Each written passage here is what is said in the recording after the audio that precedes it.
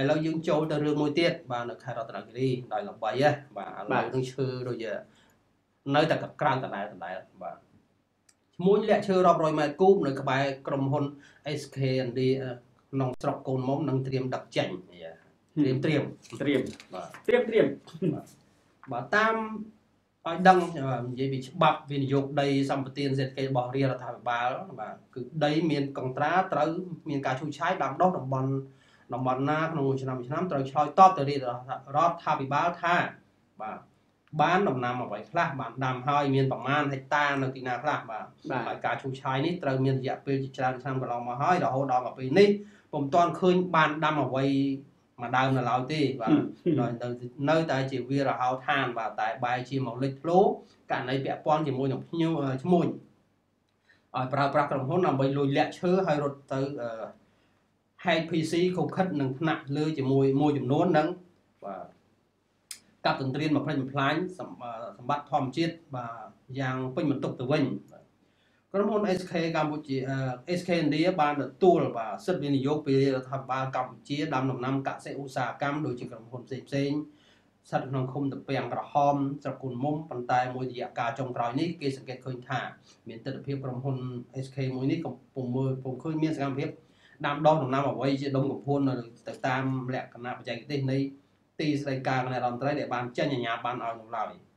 ជាក់ស្ដែងឈើធំធំនៅក្នុងដីសង្គមកិច្ចរបស់រដ្ឋជាប់ព្រំប្រទល់ក្រុមហ៊ុននេះជាដើមបានរងនឹងការបាត់បង់ស្ទើរតែទាំងស្រុងមិនតែប៉ុណ្ណោះគេសង្កេតឃើញថ្មីថ្មីនេះមានរថយន្តយីដុកបាទកង់10ប្រមាណ4 5គ្រឿងនិងរថយន្តស្ទូចមួយគ្រឿងចូលទៅក្នុងក្រុមហ៊ុន SK India តំណងបំរុងដឹកជញ្ជូនអឺ ឈើចាស់ចាស់ដែលនៅសេសសល់ក្នុងក្រុមហ៊ុននេះចេញដោយលើកថានៅបន្សល់ឈើរាប់សិបម៉ែត្រគូបបាទរាប់សិបពាន់ម៉ែត្រគូបបាទឯណោះដែលត្រូវនាំចេញជាបន្តបន្ទាប់នៅក្នុងអំឡុងពេលដាច់ទឹកភ្លៀងដល់ផ្លូវខាងមុខនេះបាទមួយយ៉ាងវិញទៀតតាមរយៈអឺប្រភពពីប្រជាពលរដ្ឋដែលបណ្ដោយសត្វឆ្កែក្នុងដីសង្គមកិច្ចខាងលើ បានឲ្យដឹងថាបាទកាលពីថ្ងៃ18ដុល្លារកន្លងទៅនេះ ពួកគេប្រទះឃើញឈើជាច្រើនកំណសុទ្ធតែប្រភេទឈើប្រណិតសក្រំកកោះនិងធ្នង់អាឃ្លុំសម្រាប់បាទប្រវែងកន្លះម៉ែត្រ6តឹក8តឹក1ម៉ែត្រទៅ1ម៉ែត្រ2និងមានមុខកាត់ចម្រុះពី2តឹក3តឹក4តឹកបាទនិយាយចឹងមកទៅចាប់ចប់30 40សង់ទីម៉ែត្រអីទេហើយជាច្រើនសង្ឃធម៌ប្រព័ន្ធកំណត់ដែលបានប្រមាណមិនក្រោមពីអឺ200ទៅ1000ម៉ែត្រគូបឡើយ ដែលក្រុមឈ្មួញមកស្តុកលាក់ទុកយ៉ាងស្ងៀមស្ងាត់ត្រង់ចំណុចដីសង្គមមកកិច្ចឃ្លាតឆ្ងាយពីដីក្រុមហ៊ុន SK India ខាងលើនេះចម្ងាយប្រមាណ100ម៉ែត្រនៅក្បែរគ្នាសោះតែដាក់លើណាប្រភពមិនដែលបន្តថាឈើទាំងនេះគេសង្ស័យថាជាក្រុមឈ្មួញបានទិញនិងដឹកជញ្ជូនចេញពីម្ដុំព្រៃធម្មជាតិខាងជើងទំនប់វារីអគ្គិសនីសេសានក្រោមក្រោម2ក្នុងភូមិសាស្ត្រខេត្តតឹងត្រែងកាលពីប្រមាណខែមុនតាមរយៈគោយន្តកត្រៃមកស្តុកទុកក្បែរដីក្រហម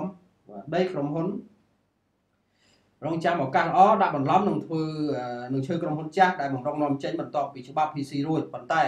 ក្រោយពីប្រទះឃើញកំណោទាំងនោះហើយប្រជាពលរដ្ឋក៏បានរីកាជាបន្តបន្ទាប់ទៅសមត្ថកិច្ចមូលដ្ឋានដើម្បីចាត់ធានការទៅតាមផ្លូវច្បាប់រហូតថ្ងៃ13អសុចបាទ13កើតខែអសុចឆ្នាំចសម្រិតស័កពុទ្ធសករាជ2562ថ្ងៃ22ដុល្លារកន្លងមកនេះលោករស់វណ្ណា មានជាការកងរាជវហាត់ស្រុកក្រុមកូនមកបានដឹកនាំកម្លាំងរឹបអូសយកឈើមិនស្របយកទៅនោះយកមករក្សាទុកចំនួន2កូនគោយន្តខ្នាតតូចតូចណាពី30ទៅ40ដុំប៉ុណ្ណោះបាទនៅសល់មួយចំនួនធំទៀតមិនទាន់ឃើញមកមកកិច្ចចុះបង្ក្រាបបន្តធ្វើឲ្យមានស្ថានទូទៅដាក់ការសង្ស័យថាគេបង្ក្រាបតែគ្រាន់តែជាការបង្ក្រប់កិច្ចតែប៉ុណ្ណោះហើយដកឃ្លាមកវិញធ្វើការចរចាទុកឈើទាំងនោះឲ្យឈ្មួញវិញមួយចំនួនធំ ពីព្រោះគណៈនៃការចុះបង្ក្រាបគេឃើញអ្នករត់ការម្នាក់ត្រូវបានគេស្គាល់ឈ្មោះថាប្រុសអ្នកភូមិក្របីជ្រុំរត់ហែក PC នៅភ្នំពេញដើម្បីបំពេញលក្ខណៈច្បាប់ធ្វើអាជីវកម្មយកឈើខុសច្បាប់ទាំងនោះចេញដោយជ្រោកក្រោមផ្លាកយមក្រុមហ៊ុន SK India ព្រមទាំងការស្ដារបាតអាងទំនប់វិរគិសនីសេសានក្រោម2ជាដើមបាទប្រតិបត្តិការចុះបង្ក្រាបនោះមានលោកមេជាការបានឲ្យអ្នកសារព័ត៌មានយើងដឹងថាលោកនៅប្រមូលឈើខុសច្បាប់ទាំងនោះមិនឲ្យសល់សំបីមួយកំណាត់ ហើយឈើទាំងនោះលោកនឹងនាំទៅរក្សាទុកនៅទីវិជាការកូនស្រុកកូនមុំដើម្បីចាត់ការតាមទីច្បាប់ដោយឡែករថយន្តយីដុកប្រមាណគ្រឿងដែលលូនក្បាលចូលទៅស្ងាត់ស្ងាត់ចតចាំដឹកឈើក្រុមហ៊ុន SK គណៈលឺសូថាសមាជិកនឹងចូលចាប់បង្ក្រាបកំណត់ឈើបាយក្រុមហ៊ុននេះពួកគេបត់ក្បាលចេញពីក្រុមហ៊ុនវិញយ៉ាងប្រញាប់ប្រញាល់ប្រលឹងចុងសក់ហាក់ដូចជាដឹងថាសភាពការមុនពីយប់ថ្ងៃទី21ខែតុលាពីព្រោះថាមានការពាក់ព័ន្ធយ៉ាងណានោះទេបាទអញ្ចឹងអ្វីដែល ធ្វើឲ្យល្អនោះគឺក្រុមហ៊ុនមិនបានបាទកសាងអ្វីទេគឺបានតែនាំគ្នាកាប់បំផ្លាញព្រៃឈើបាទបាទហើយសូម្បីតែដាំកូនឈើមកដែរម្ដងក៏មិនតាន់មានដែរបាទក៏ប៉ុន្តែអ្វីដែលថ្មីថ្មីនេះទៀតនេះគឺមានការកោទុកឈើជាច្រើននៅក្នុងព្រៃនោះបាទបាទធ្វើឲ្យគាត់អាចប្រកបមុខរបរអាជីវកម្មបានច្រើនហើយរស់បានស្រួលទៅបាទបាទនឹងហើយពាក់ព័ន្ធនឹងក្រុមហ៊ុន SK India នេះបាទ អញ្ចឹងសូមឲ្យក្រសួងកសិកម្មរួមនឹងក្រសួងបរិស្ថាន បាទចុះទៅមើលផងថាតើគាត់បានដីសម្បទាននឹងគាត់ធ្វើអីអត់បាទបាទលទ្ធផលគឺគេបានឃើញកន្លងមកហើយគឺក៏មានតែការកាប់បំផ្លាញព្រៃឈើប៉ុណ្ណោះបាទទុកឲ្យដីនៅវាលអត់មានដាំអ្វីអត់មានធ្វើអ្វីទាំងអស់ក្រៅពីកាប់ឈើរបស់ជាតិយើង ដឹកជញ្ជូនចេញបាទហើយឥឡូវនេះថ្មីថ្មីគឺថាមានការលាងឈើទៀតបាទ គឺថាដឹកឈើពីកន្លែងផ្សេងផ្សេងជាពិសេសពីតំបន់ផ្សេងផ្សេងយកទៅដាក់នៅកន្លែងទន្លេសេសាន2ហ្នឹងសេសានក្រៅ2ហ្នឹង ដឹកដឹកចេញទៅវិញឬក៏លាងឈើនឹងចេញពីក្រុមហ៊ុន SK India នេះបាទដោយដោយដឹកចេញទៅថាមាន PC ត្រឹមត្រូវមាន PC ត្រឹមត្រូវបាទតាមពិត PC នោះមានហើយត្រឹមត្រូវប៉ុន្តែគេកាន់បន្តដៃគ្នាហ្នឹងបាទបន្តពីម្នាក់ទៅម្នាក់បន្តពីម្នាក់ទៅម្នាក់អញ្ចឹងវាអត់ចេះអស់ទេ PC ហ្នឹងនោះបាទ PC នោះដូចគេកំណត់ប្រមាណគីបសោះបាទហ្នឹងហើយដូចជាដឹកមិនចេះអស់គីបនោះសោះ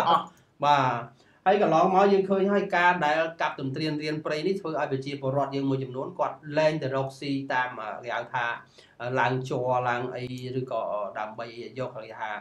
ផលអនុផលព្រៃឈើបាទមិនផលអនុផលព្រៃឈើដឹកឈើទាំងមូលនេះណាបា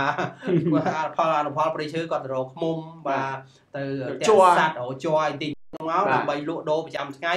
បោចវល់បោចអីបាទបដៅលពាក់ធ្វើថ្នាំធ្វើអីលក់បាទអ្វីតែ គាត់ប្រព្រឹត្តធ្វើកន្លងមកដែលជាជនភៀសតិចនោះហើយនឹងប្រជាជនរស់នៅទីនោះក៏គាត់បានធ្វើចឹងប៉ុន្តែឥឡូវនេះវាអស់ហើយរហូតដល់គាត់ជំរឿសចុងក្រោយគឺគាត់ថាគាត់ត្រូវតែធ្វើការមួយគឺការដឹកជញ្ជូនបាទឥឡូវយើងងាកមកបែរក្នុងរឿងឈើនឹងដូចគ្នាការដឹកជញ្ជូននោះបានធ្វើឲ្យមនុស្សស្លាប់យ៉ាងអណោយអធមបាទបាទគឺកន្លងមកដូចជានៅកញ្ចេះចឹងបាទឃើញស្រាប់ហើយគឺគាត់បានគ្រោះថ្នាក់ដោយសារស្អីបាទគ្រោះថ្នាក់ចរាចរណ៍ ម៉ូតូបុកកង់ឬក៏កង់បុកម៉ូតូឬក៏ម៉ូតូបុកម៉ូតូឬក៏តាក់អ្វីមួយហ្នឹងគឺយើងមើលឃើញហើយបាទឈើនោះគឺទម្ងន់សិតតែចូលដល់កម្រិតតោនណាមិនមែន100គីឡូណាបាទបាទម៉ូតូដឹករួចយើងត្រូវគិតមើលធំណាស់ឈើនេះបាទអញ្ចឹងអ្នកដែលបើកបរហ្នឹងគឺឲ្យតែប៉ះស្លាប់បាទមូលហេតុអីអត់មានអីជួយសង្គ្រោះបានទេបើមិនស្លាប់ទេបាក់ដៃបាក់ជើងបាទបាទ តែកំណត់ហេតុចុងក្រោយមិនដឹងថានឹងហើយថាអាញាធរនឹងទៅសេយ៉ាងម៉េចទេអាចអាចមានលក្ខណៈបើកងតបទៅថាគ្រោះថ្នាក់ដោយសារមីននេះណាបាទតាមក៏ពិតឥឡូវនេះគឺវាចូលលក្ខណៈអញ្ចឹងបាទឃើញស្រាប់ហើយគឺអនាធមណាស់អញ្ចឹងការដឹកជញ្ជូនរបស់បងប្អូននោះឃើញឈើមួយដើមប៉ុណ្ណាណីបាទពីរដើមជាប់គ្នាហើយគាត់ធ្វើយ៉ាងម៉េចដឹកម៉ូតូមួយបាទហើយទម្ងន់រាប់តោនបាទអាចមួយតោនជាងឬក៏800គីឡូបាទ បាទឬ900គីឡូឬក៏1តោនហើយសួរថារឿងអីមិនស្លាប់ឲ្យតែប៉ះបាទព្រោះគ្មានអីត្រូវទប់ទល់កើតពុនតំងន់ហើយចំណោលបាទបាទម៉ូតូកង់2មិនមែនកង់4ទេវាខុសពីឡានបាទឲ្យតែញាក់បន្តិចគឺឃ្លោងហើយបាទញាក់ឃ្លោងបាទអ្វីដែលគាត់បើកបរគឺទៅត្រង់ហ្មងបាទបាទយឺតយ៉ាងណាក៏ដោយប៉ុន្តែអ្វីដែលគាត់ទទួលបានមកវិញគឺ បានផលដូចជាមួយដើមឬជាមួយជើងបាទហើយជាមួយជើងប្រហែលជា50ដុល្លារលោកតាមប្រហែលជា50ដុល្លារបាទជើងអញ្ចឹងគាត់បំផ្លាញជីវិតគាត់ជាមួយនឹងព្រៃឈើមួយចំនួននោះគឺតម្លៃ50ដុល្លារបាទជើងដើម្បីជីវភាពក្រុមគ្រួសារគាត់ហើយក្នុង50ដុល្លារនោះបាទនិយាយចំទៅទៀតមានការបង់នៅតាមផ្លូវតាមប៉ុស្តិ៍នានា ទៀតដកតុងទៀតបាទដកតុងបាទចាំដកតុងបាទហើយបើសិនជានរណាមិនតាន់ទេគាត់អត់ដកតុងបានទៅដល់កន្លែងគោដៅអាហ្នឹងរួចខ្លួនបាន50ពេញហើយបើសិនជាដកតុងវាអាចមកកន្លែង50000 60000អីចឹងទៅបាទតែពី3កន្លែងគេហៅថាអ្នកគ្នាដឹកហ្នឹងបានថាដល់ហ្នឹងបានពាក់កណ្ដាលអីទេនៅសល់25រៀលមួយជើងហត់ណា រឿងអញ្ចឹងលោកបរិទ្ធខ្ញុំចង់បញ្ជាក់ពីរឿងបងប្អូនយើងដែលដឹកជញ្ជូនឈើជូនទៅលោកអញ្ញាមួយចំនួនណាកន្លងមកឃើញថាគាត់បានស្លាប់ជារឿយៗអ្នកខ្លះគឺឈើនឹងជីដឹកម៉ូតូឈើសកាត់លើស្លាប់មានច្រើនករណីអអ្នកខ្លះដឹកឈើទៅតាមរយៈរថយន្តភ័យពេកកលាប់ស្លាប់ក៏មានឆេះស្លាប់ក៏មានបាទហើយអ្នកដែលអ្នកដែលដែលបាត់បង់គឺប្រជាពលរដ្ឋ ទុនខ្សោយនឹងឯងបាទហើយអ្នកខាតបង់មែនទែនគឺជាតិដែលបាទបាត់បង់ប្រៃឈើបាទហើយអ្នកចាំប្រមូលផលគឺក្រុមអុកញ៉ាមួយបាទចំនួនបាទខលខូចនៅទីនោះបាទបាទជាពិសេសអុកញ៉ានៅតំបន់ខេត្តរតនគិរីស្ទឹងត្រែងកញ្ចេះបាទនលគិរីឯនោះបាទបាទអុកញ៉ាសិតតែអុកញ៉ាចាំតែប្រមូលលុយបាទហើយយើងឃើញហើយប្រជាពលរដ្ឋដែលគាត់ដឹកឈើនេះដែលគាត់ដឹកលោកបែបនេះគឺគាត់ចង់បានអឺទៅតែមួយជើងគាត់បានតែខ្ទង់50ដុល្លារទេ បាទបាទអញ្ចឹងបើសិនគាត់ដាក់ថែមម្ដុំទៀតអាចបាន100ដុល្លារអញ្ចឹងទៅបាទប៉ុន្តែភាពលោភលន់នេះហើយធ្វើឲ្យគាត់ដួលបន្ទោស្លាប់បាទបាទនេះដោយសារការចង់បានហើយក៏មានការញុះញង់ពីក្រុមអញ្ញាដែរព្រោះថាគេលែងដឹកតាមរថយន្តហើយបាទគឺគេចល័តតាមម៉ូតូនឹងវិធីដូសាស្ចត្រនេះគឺជាហៅថាវិធីសាស្ត្រកណ្ដៀបាទកណ្ដៀជញ្ជូនស្រូវបាទកណ្ដៀជូនកងបាទបាទហ្នឹងហើយយុទ្ធសាស្ត្របាទហើយឈើមើលលោកអឺប្រិយមិត្តទាំងអស់យើងមើលទៅបាទធំណាស់បាទបើសិនជាយើងល្មមមលើកគ្នាប្រហែល 4 10នាក់អស់បាទបាទហើយគាត់យកទៅដាក់លើម៉ូតូមួយគ្រឿងបាទហើយម៉ូតូរបស់គាត់ហ្នឹងមានបូមមួយខាង4មួយខាង4បាទហើយខ្ញុំឲ្យក្រុមការងារ TNM ត្រឡប់ចុះទៅសាកម៉ូតូហ្នឹងគឺថាម៉ូតូហ្នឹងមកហាហើយគឺថានៅតែតំបន់ហ្នឹងឯងបានមានអញ្ចឹងហើយសូមឲ្យបងប្អូនអឺដែល